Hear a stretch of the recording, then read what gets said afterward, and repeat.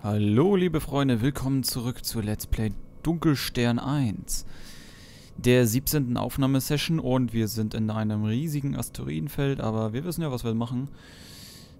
Alter, ich bin so ein bisschen geschockt, muss ich sagen. Und zwar habe ich mir gerade ein Let's Play von, ja, von Sarazar angesehen. Und zwar das Let's Play zum Spiel, beziehungsweise das Spiel zur Serie The Walking Dead. Alter Schwede, was das für eine Story hat, die ist so, die ist bedrückender als Final Fantasy. Da passiert äh, was richtig Schreckliches. Alter, und man ist geschockt. Man ist regelrecht geschockt, weil man nicht weiß, weil man überhaupt nicht wusste, dass das so passiert. Man hat damit nicht gerechnet. Und dann ist das auch so. Eiskalt.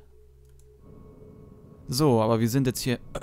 Also wie gesagt, The Walking Dead von Sarazar sehr zu empfehlen. Reinziehen ist geil. So.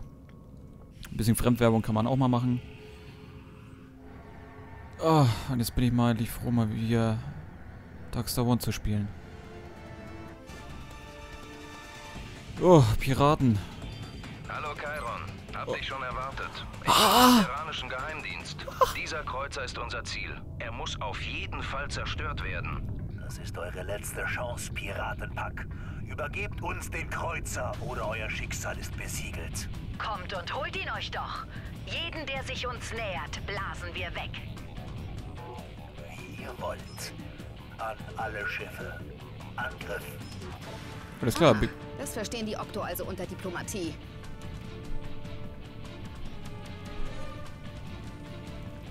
Dann wollen wir doch mal ein bisschen einheizen. Unterlegenheit ist dein Schicksal. Ja, sag das zu einem Kreuzer. Das ist eine gute Idee. Ich hab dich im Visier. Mayday, Mayday! Ah! Was war das? Das war laut. Mein Ohren. Verdammt, die Piraten bekommen Verstärkung. Soeben kommt mein Schiff die Luftwaffe aus dem Hyperraum. Alter, was ist das für ein Geräusch?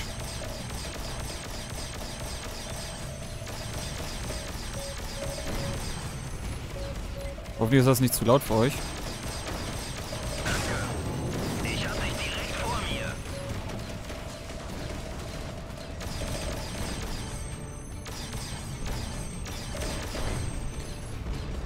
Äh, by the way, ich würde gerne mal einen Teil auf die Schilde setzen, nicht alles auf die Waffen. Zustand kritisch. Ah. Du sollst doch den... Ja, das, Mist, unsere Schilde sind weg. ja, dann mach sie auf. Wir haben den großen Kreuzer vernichtet. Ja, das hatte ich auch gesehen. Bestätigt. Du machst dich gut. Leider etwas zu spät.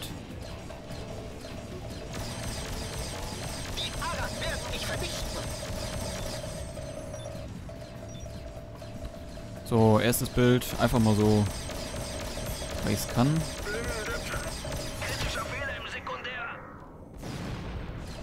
So, wir müssen die Reste wegräumen, bevor es zu spät ist.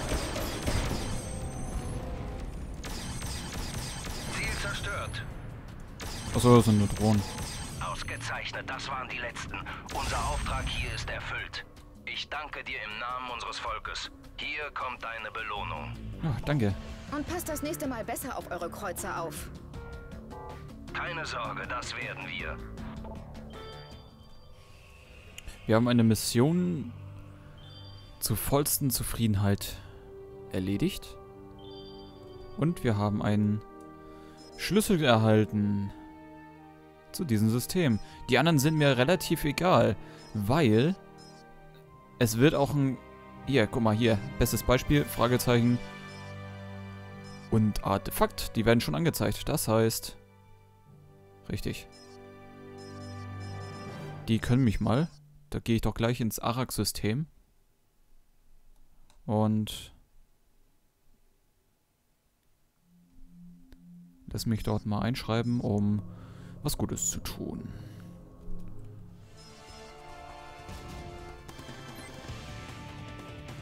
Ja. Da will sich noch wer mit mir anlegen. Drei Piraten, okay. Ich übermittle Grüße und erwarte deinen Tod. Hier kommt ein letzter Gruß der Darkstar One. Ich mach mal so den Spaß, ne? Ich zeige dir jetzt. Oh shit.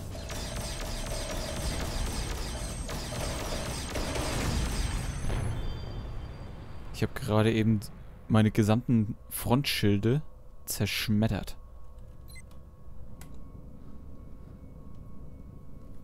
Das hätte auch böse ausgehen können. Also mit einer Hellfire zu spielen, ist kein Scherz.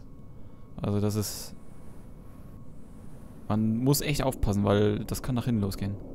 Die Druckwelle, die reißt einen dann die gesamten Schilde weg. Ich habe ja Probleme mit den Dingern. Bitte die Fracht gleich für die Beladung bereit liegen. So, das wird das letzte Mal, vorletzte Mal sein, dass wir hier reinfliegen. Dann fliegen wir nämlich rüber zu einer Arak. Und zwar ohne, im Prinzip ohne, sollen wir jetzt das alles, was sie haben? Pff, tschüss, da repariere ich nur mein Schiffchen und gehe wieder. Dann müssen wir noch einen Zwischenhalt machen vielleicht. Verstanden.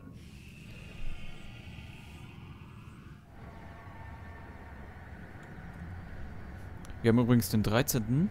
13.3. und es hat schon geschneit heute. Wieder geschneit. Siehst du, jetzt haben wir auch die restlichen Dinge. Also, das grenzt sich doch alles an.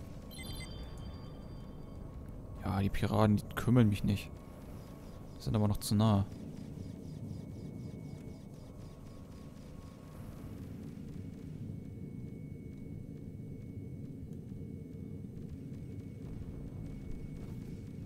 Hm. Bam. Also wichtig ist, dass ich mir fünf Bilder mache. Alles andere ist egal. Ihr wisst ja, so eine Bilder, die kommen irgendwie besser auf den Thumbnail als irgendwelche... als solche Bilder. Ich habe ja in der Mitte dieses riesige Kreis und so sieht es einfach besser aus. Deswegen, das mache ich auch bei Skyrim ganz gerne. Ähm, Thumbnails ohne HUD. Das heißt, äh, so Special, Special Moves, Kameradinger oder Kameraschwenkungen. So geskriptete Animationen, die sind gar nicht mal so schlecht. Das macht auch riesen Spaß, die Dinger dann zu schreiben. So, wir sind jetzt gleich da zum... Ha, ha zum Artefakt. Und hoch. Man muss immer nach oben ziehen, also immer hochziehen. Artefakt eingesammelt. Wie viel brauchen wir noch? Wahrscheinlich viel, ne? Ja, vier. Naja. Shit. Gut, ähm... Wir fliegen darüber. Ich glaube, wir müssen darüber... Ah, ich kann darüber auch springen. Sehr schön. Dann haben wir es doch.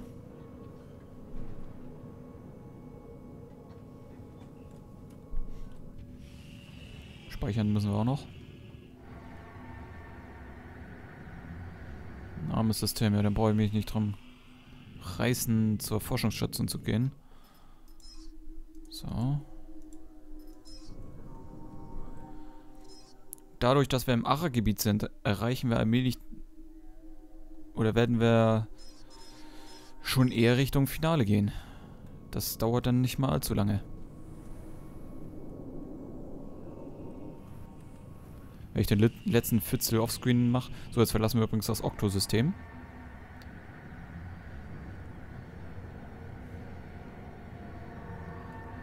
Ja, hier sollte ich Ressourcen kriegen. In dem Arak-Gebäude. Wir haben, glaube ich, noch nie eine Arak-Station von innen gesehen, ne? Dann wird's mal Zeit. Bisschen Hintergrundinformation zu den Arak. Arak sind Sektoiden. Das sind Insekten, die leben in einer Bürokratie. Gut, die ganzen Welten haben zwar ihre eigenen äh, Regierungen, Diktatur, äh, Demokratie Und sonst noch was. Es gibt noch irgendeine andere Regierungsform. Monarchie, genau, Monarchie. Und ja, die sind in einer Bürokratie aufgebaut, alle. Die ganzen Systeme. Und die handeln strikt nach Paragraphen. Und ja, das werden wir jetzt gleich hören. Denn ich fliege jetzt gerade schnurstracks die Handelsstation an. Und auch die sieht schon mal ziemlich anders aus. Nicht mal so klobig, sondern ziemlich drahtig. Erbitten Starterlaubnis. Man hört sie auch bereits. So, jetzt werde ich die Anfrage fragen. Hier ist die Arak Handelsstation. Wie können wir Ihnen behilflich sein? Landeerlaubnis gemäß Paragraph 3 erteilt. Paragraph 3 besagt, dass äh, alle Mitglieder der Galaktischen Union und andere freien Landezugang haben. Alter, wie das hier aussieht. Und da sind wir.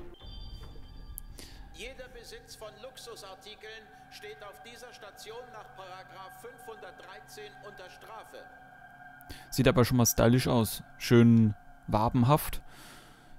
Das... Okay, es sind keine direkten Sektoiden. Ich glaube, die sollen so eine Art Ameisen darstellen. So eine Kreuzung aus Ameise und Wespe. Aber hier kriegen wir Equipment.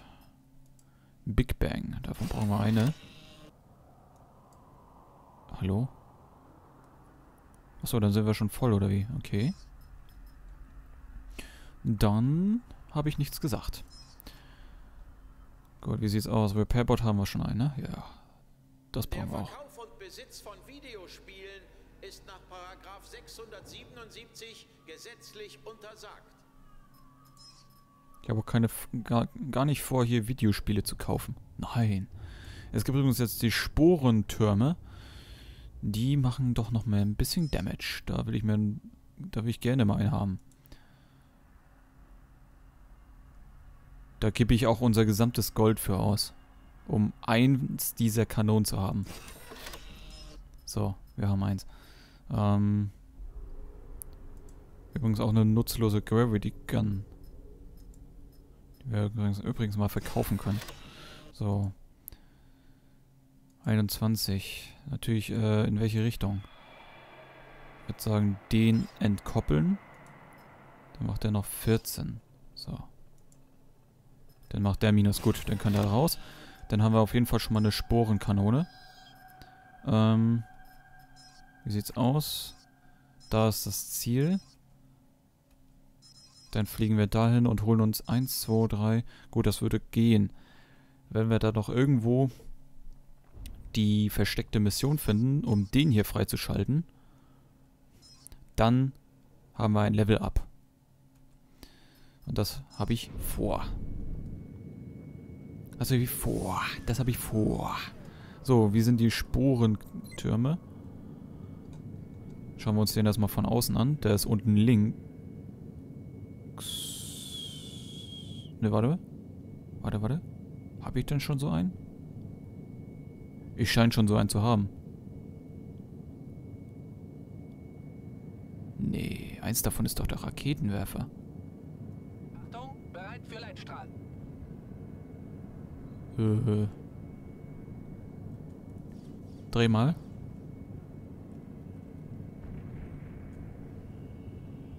Da unten, da unten sitzt der Raketenwerfer. Haben wir schon so ein Ding? Okay, wir hatten anscheinend schon so ein Ding. Warum sagt mir das denn niemand? Naja, jetzt machen wir mehr Damage und das ist die, Hau die Hauptsache. Gut, da fliegen wir hin. Waffen kosten auch so Schweine viel Geld.